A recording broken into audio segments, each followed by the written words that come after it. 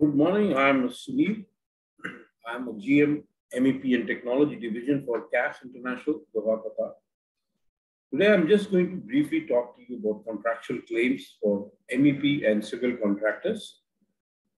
I've been in the MEP industry for last four decades, having worked in various continents, various companies, and done a large number of projects including the iconic Burj Khalifa in Dubai in 2009-10, the US Air Base in Al Udeid in Doha, Qatar, World Trade Center in Abu Dhabi, and many other projects. I started in 1980 and uh, worked in India, Middle East, Canada, US, and back to Middle East now. My goal is to just give you a you know, a simple explanation to claims. Now,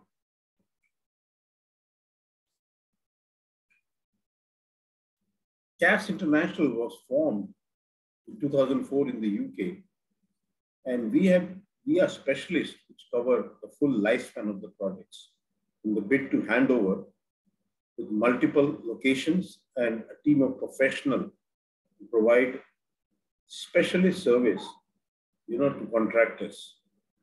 In Qatar, we have been successfully, we have successfully completed a lot of claim for various companies in MEP and other specialist contractors.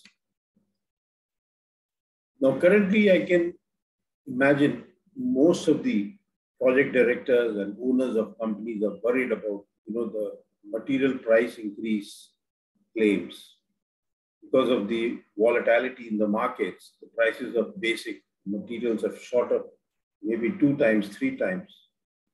Now, we have helped numerous subcontractors and especially suppliers in various sectors to claim material price increase and recover the cost incurred as a result of exceptional and unforeseeable events of, of which has made fulfillment of contractual obligations excessively onerous in such a way that threaten the contractor with exorbitant loss.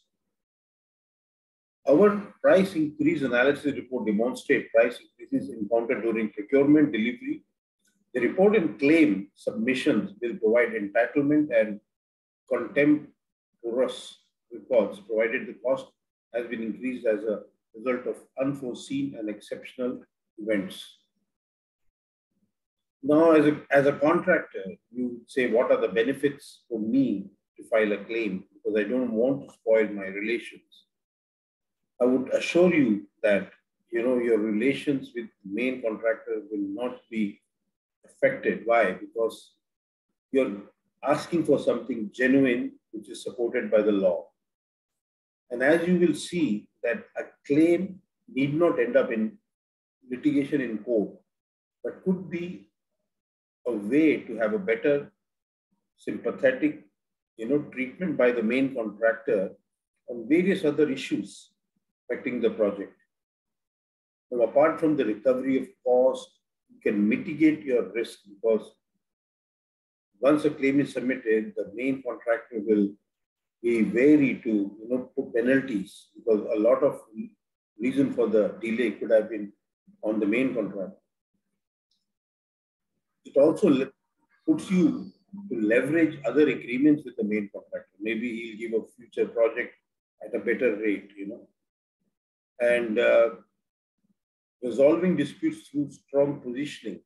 Because if everything is on the record in the claim, all correspondences, all emails, all the approvals of various materials, then you are in a strong position to avoid litigation and come at a settlement. Thank you and uh, hope it helped.